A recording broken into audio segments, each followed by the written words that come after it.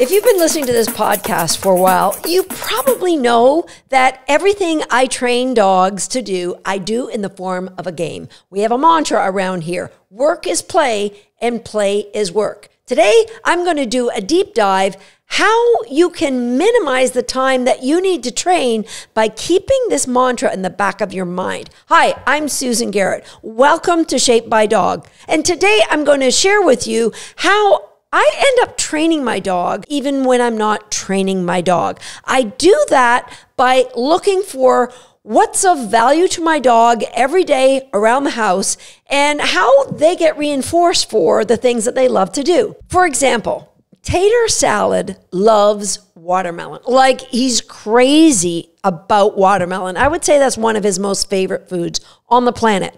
And he also loves laying in the sun. And so when he's laying in the sun, and his most favorite place to lay in the sun is on the window bench right in the dining area. You can find him there most days for most of the day. If the sun's out, that's where he's going to be lying. Unless somebody cuts watermelon, which, by the way, happens a lot around this house because Kim loves watermelon even more than tater salad does. Anytime somebody starts cutting watermelon, Tater's ears perk up.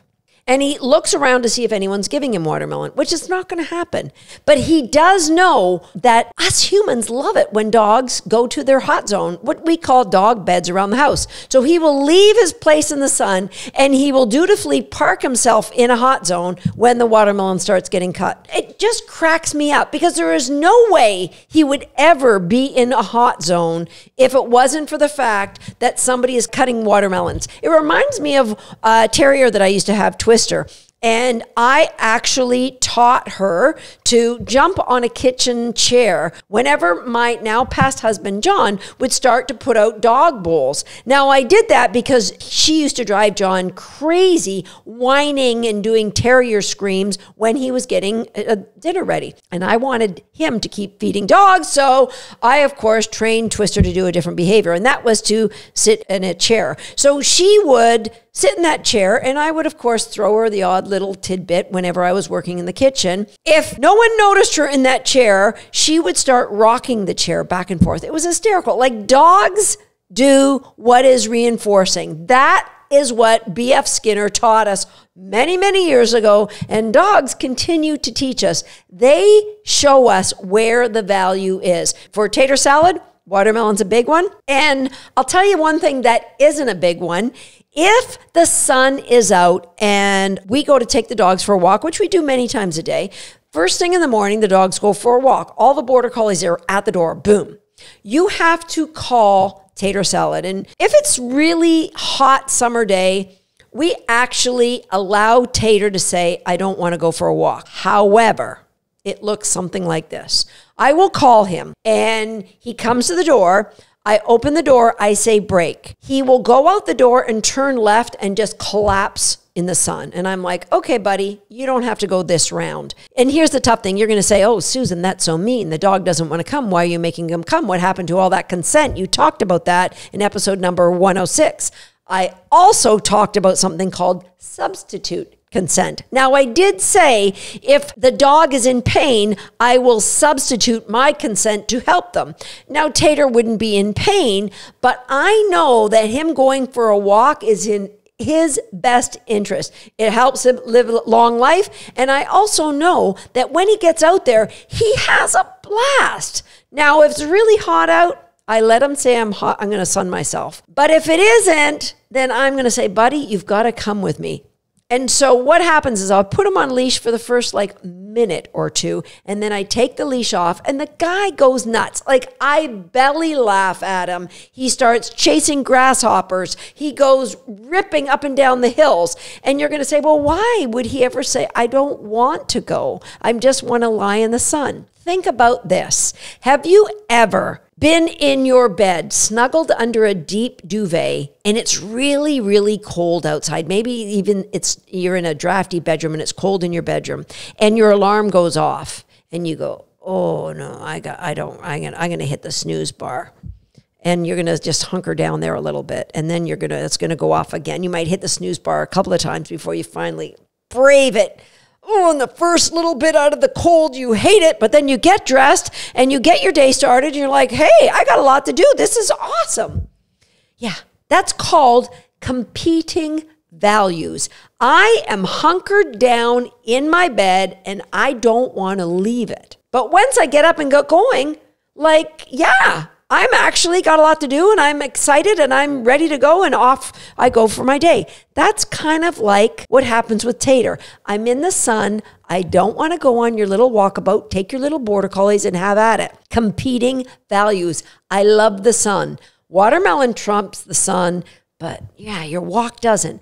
But just like literally 90 seconds into the walk, he doesn't turn around and go back in the sun. He goes, Oh, yeah, this is good. So sometimes you have to override, you have to substitute your consent because you know your dog is going to have an awesome time when they get going. And so the dogs tell us Where's the value? I'm going to give you another great example. My puppy, this, loves to train with me, but I train mostly in the dog training building or in the house somewhere. Well, recently I've been doing jump grids and I've been setting them up on the front lawn, and boom, what an eye opener it was for me.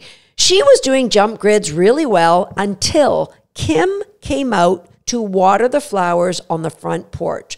Lost my puppy. I called her to do another grid and she was looking at Kim and looking at the pond and she was starting running towards Kim a little bit and then came back to me and running towards the pond. And I'm like, what's going on? Our dogs will always tell us where the value is. And it dawned on me that anytime Kim is outside is party time for the puppy. Because Kim goes outside when she either takes the dogs for a swim in the pond or if she takes the dogs for walks around the field. And so, Kim being outside, there is competing values. Yeah, I like doing grids, but she kept looking to the front door, even though Kim was nowhere near the front door. She kept looking to the front door because magically that door is going to come open, and all my friends, all my family are going to come running out, and we're going to do fun things around the field or maybe go in the pond hysterical. So, competing values. It made me laugh, but our dogs will always tell us where the reinforcement is. So, all that I did, I said, okay, Kim, can you just sit on the front porch? And I'm going to remind her how much fun it is to do jump grids with me. Kim's not going anywhere. You don't see any other dogs out. Now, sometimes those competing values are so high, it's overwhelming for you and you don't know what to do. For example, sometimes people, you know, they're taking their dogs to train somewhere and there's other dogs swimming in the pond. Well, that's just so overwhelming. What I would do is do something that's super easy, minimize, get out of there, and then just go back and build up to, all right, there's going to be a pond but no dogs, or there's going to be a kiddie pool and dogs in that kiddie pool. Dogs will always tell us what the competing values are, and it always makes me laugh.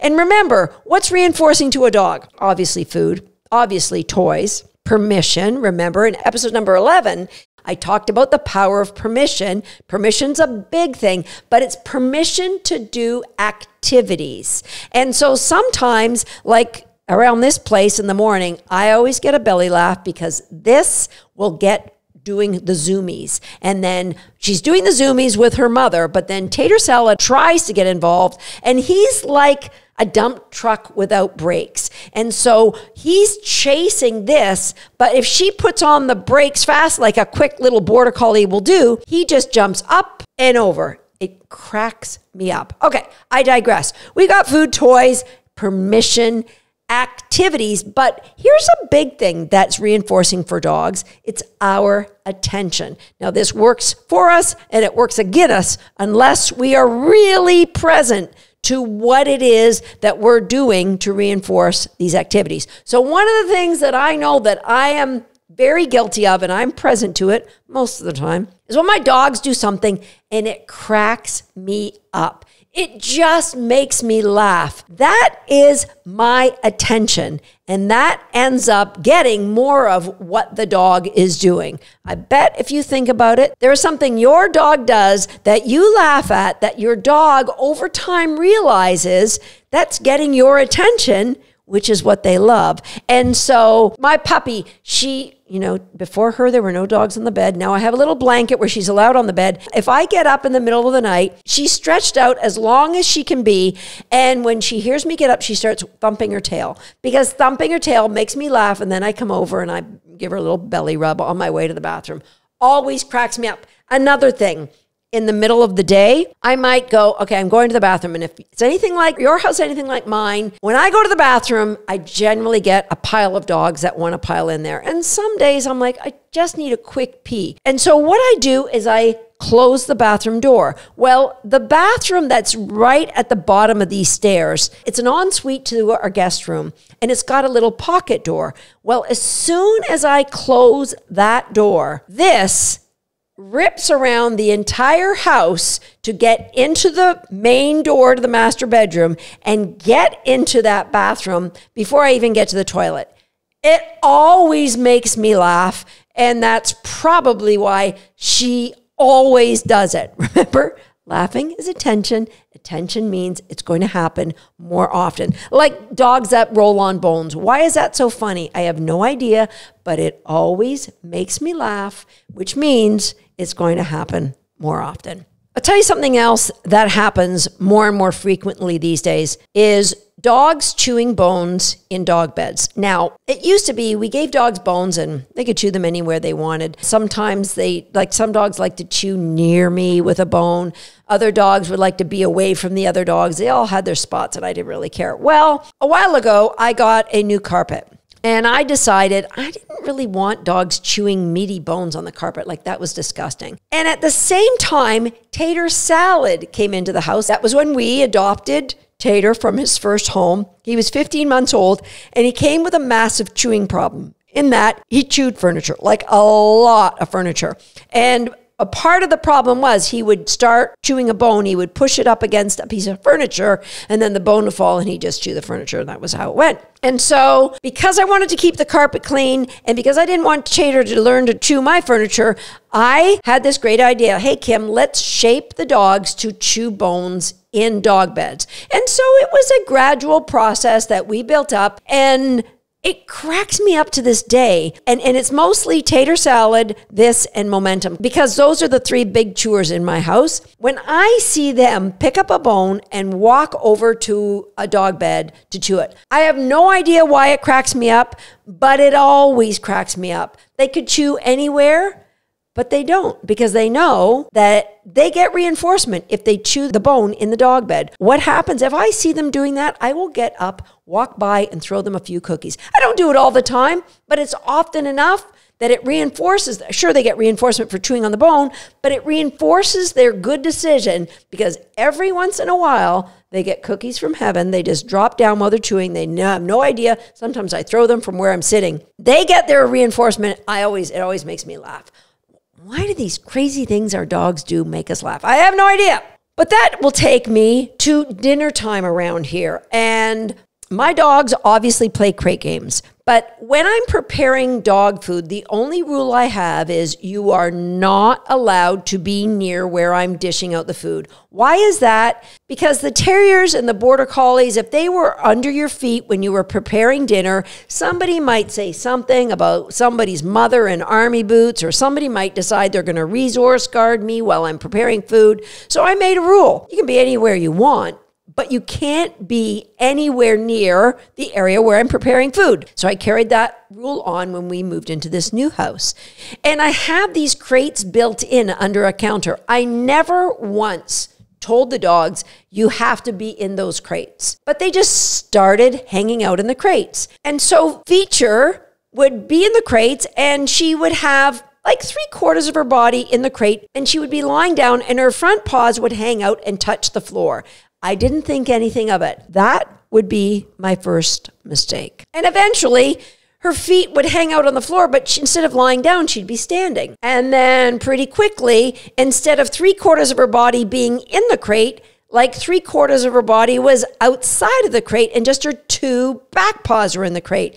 And now, as a 14 year old dog, here's what I've got. She's decided that her shifting criteria can be her back feet only have to be on the baseboard at the bottom of the dog crate to justify her being in her crate. Now, that makes me laugh, but I will tell you, when my puppy this started hanging her feet outside of the crate that she chose to be in, I made sure that I reinforced her when those feet went in the crate. And eventually, I know her feet will be in the crate like tater salad and momentums, and they are never going to be like her grandmother features and be all the way out the crate. Now, here's what I do. I said, I have no rules other than don't be under feet. You can't be near where I'm feeding.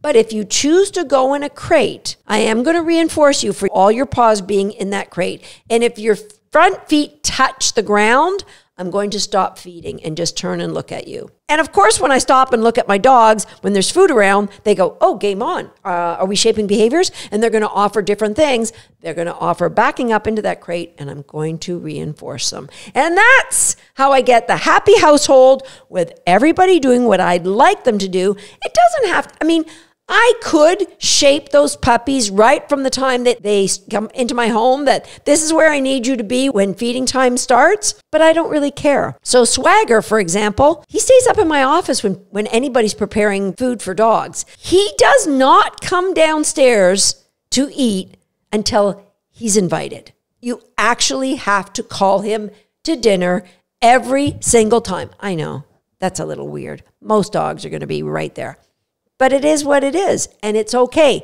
because a lot of the rules that I have for my dogs are for them to have their best life ever.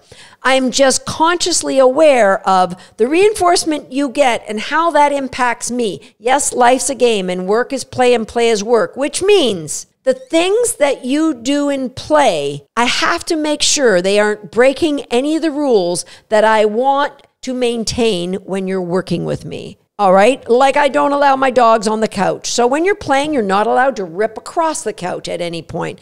Now, that's not truly working with me, but here's one. Let's say you and I are just playing a game of catch where I'm throwing the frisbee or I'm throwing a toy and it's informal and uh, you just want to play and I'm just throwing this for you. If at some point you ran out and you said, I'm going to sit down and chew on this now. That wouldn't be acceptable because in play, we are following the same rules that we do in work. And if I throw you a toy in work, you're never allowed to say, We're done here. I'm going to go off and play. Now, obviously, I would never get to a point in work where you are ever tired or physically unwell that you would want to quit work, but I never want you to say, uh, I'm not playing that game with you anymore. And so I would never throw a flying disc or throw a ball or do any kind of retrieve game to the point where you would want to walk away. I would always quit before the dog wanted to because that's the way I maintain the relationship I have with my dog and work. And work is play and play is work. I'll see you next time here on Shaped by Dog. I'd like to introduce you to the Drool Master 500. Now, if you'd like to see more of the Drool Master and myself, go ahead and hit the subscribe button now. And while you're there, turn on the notification bell so you'll never miss another video from Mr. Drool a lot.